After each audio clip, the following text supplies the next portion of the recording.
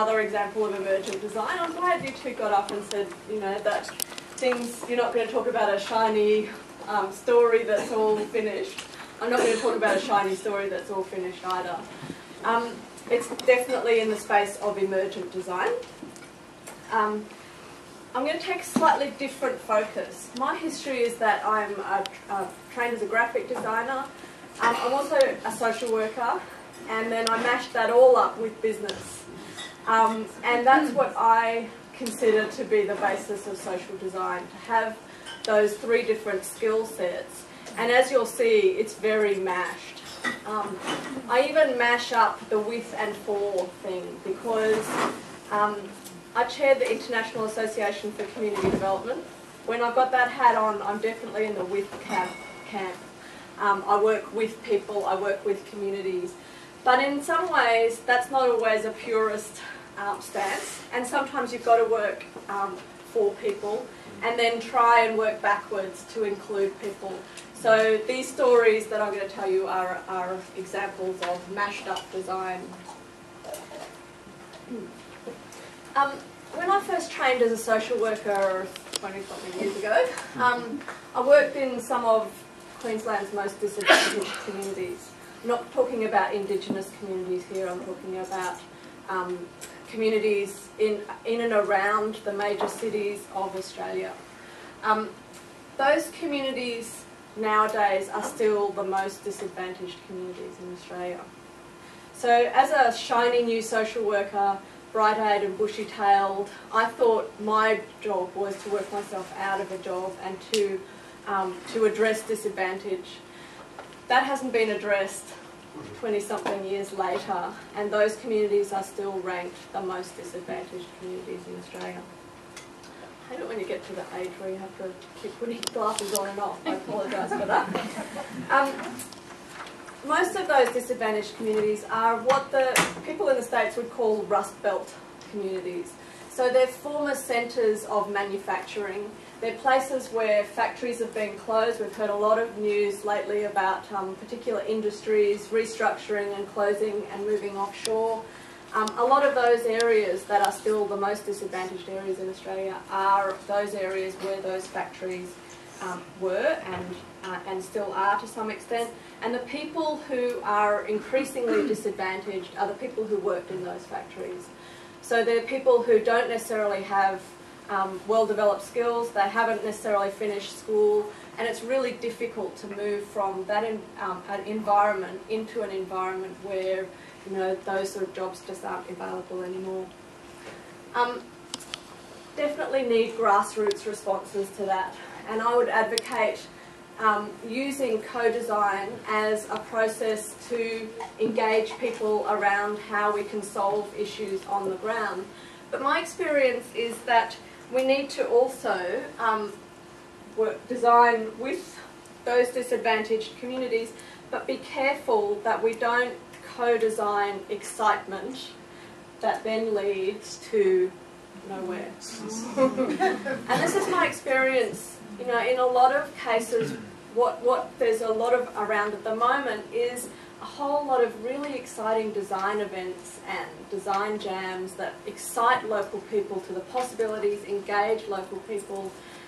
But if we're not careful and we don't do system design at the same time as we're doing co-design with people, then effectively what we could be in danger of is exactly designing this sort of a system where people get excited but there are no pathways out of disadvantage.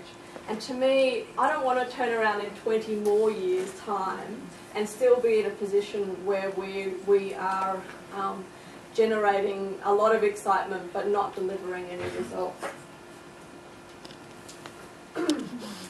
um, so the, the, very brief snapshots that I'm going to give you of work I've been doing in those communities um, takes the designing with into much more of a systems level. So again, I'll refer to Jax's um, PowerPoint slide before about the community level and the system level. This sort of work sits in between those two levels and it's designing definitely with people who are experiencing disadvantage but also designing with employers because most of the disadvantage in those communities is around joblessness And so if we just focus on the people who are unemployed and don't actually co-design with the employers, then we're only addressing the supply side of the equation, not the demand side. Um, and also the service providers, because it's not the case in any of these communities that there aren't huge numbers of people desperately trying to address disadvantage. Um, and the service designers all think that they are addressing disadvantage. So to exclude them from the co-design um, process is equally dangerous.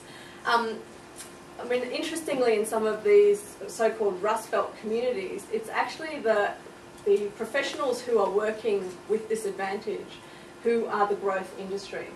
So um, that's a real paradox in terms of designing a different system because they're actually focused on, you know, disadvantage and maintaining to a certain extent their jobs inside a system that's actually disadvantaged.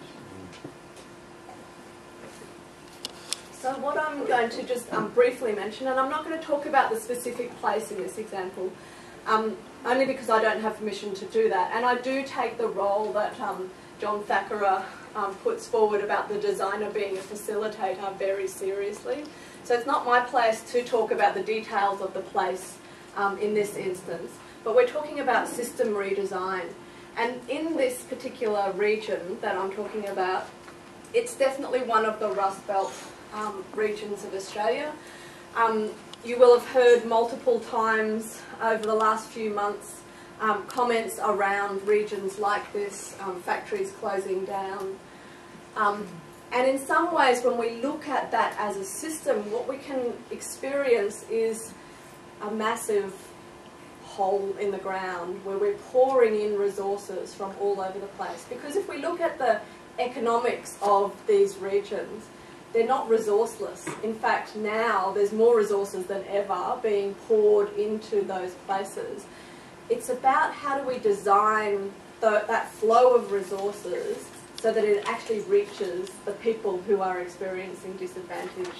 Because as we'll see in, um, in a mapping of the system, what happens is the resources flow in and then bounce off the most disadvantaged places in those regions and bounce off into the pockets of professionals, contractors, consultants, and it doesn't actually reach the ground. So, in this particular process, what we wanted to start with is not the usual, you know, let's go in and do a needs assessment. There are millions of needs assessments about the most disadvantaged communities. We don't need any more needs analysis.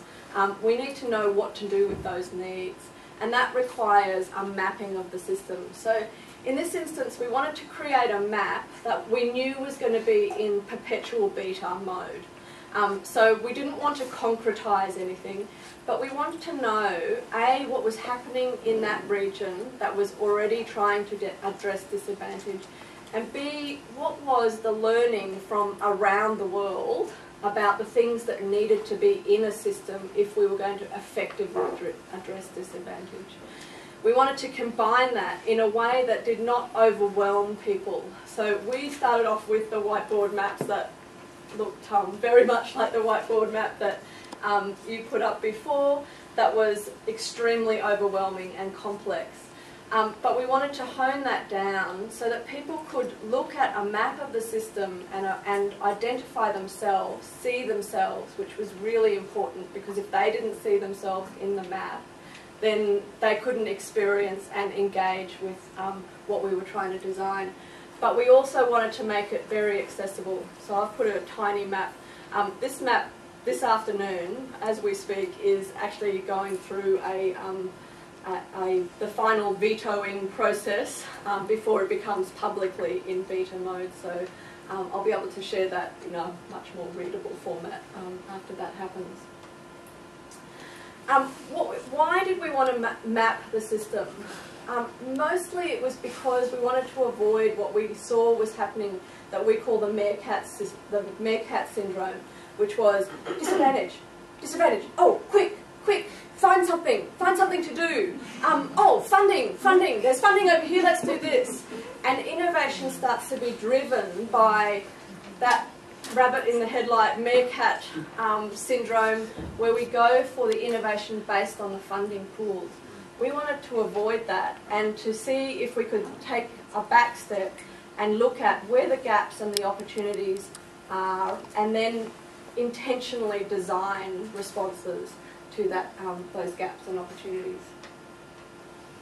Um, so we wanted to look at, see how the parts all link to the whole. We wanted to be able to see the gaps and opportunities. We wanted to be able to identify the design challenges at a system level. Um, and we wanted to be able to start to design innovative responses.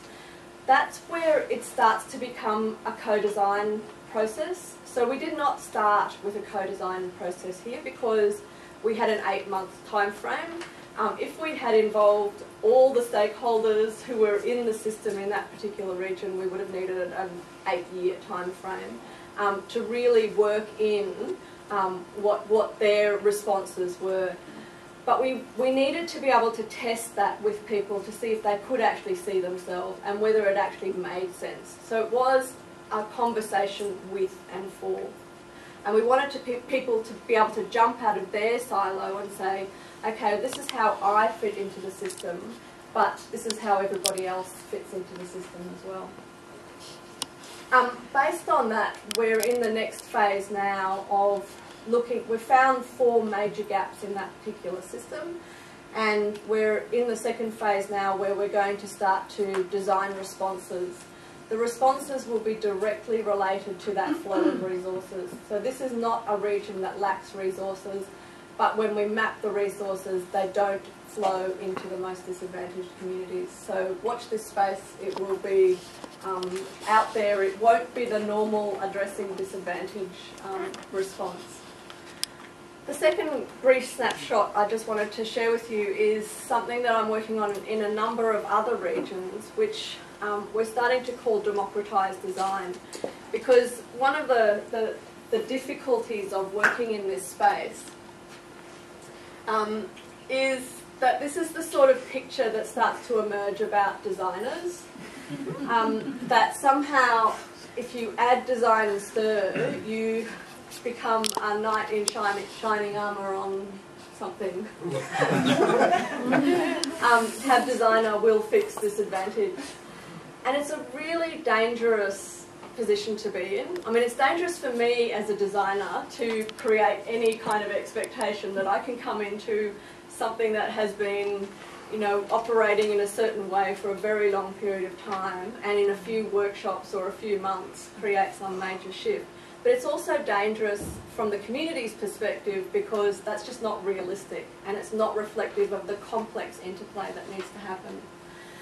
So the way that we're um, starting to explore getting around that is to, to do a democratised design process where we put major stakeholders um, in the systems of the regions into a room and over time we do all the deep dives and we do the ethnographic research um, before they all come together uh, in, in, the, in the workshop but then we actually train people to become designerly themselves so that they're not dependent on us as the fly-in, fly-out FIFO designers. they can actually start to utilise the skills and methods and the principles of design. I'm not saying that they're going to become professional designers, but they can start to experience the processes of um, design and to use those to create their own um, solutions to their own issues.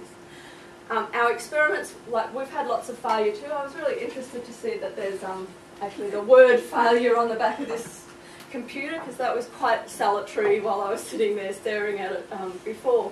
There's lots of failures in this sort of experiment. When you try and run workshops around design, it does become much more of a FIFO workshop so I moved from being a FIFO social designer to being a FIFO workshop um, runner in the skills and methods of design. So the, the learning from that is that just running workshops isn't good enough either. We need to build the platforms um, so that people can continue the dialogue. Um, and one of our very early prototype um, examples of a platform like that you can have a look at at burnieworks.com if you have a look at that.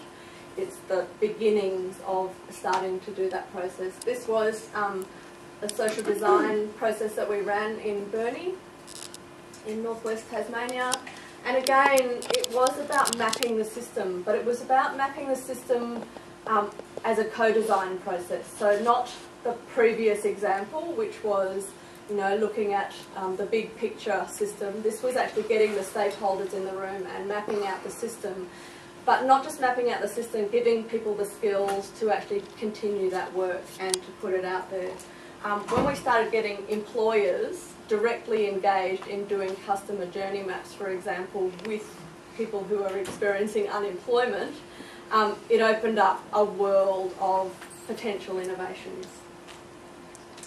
Um, the idea of democratised design is so that people can obviously design their own futures and um, so that you know that the designer can take a little bit of a backseat. Um, and that's all. all.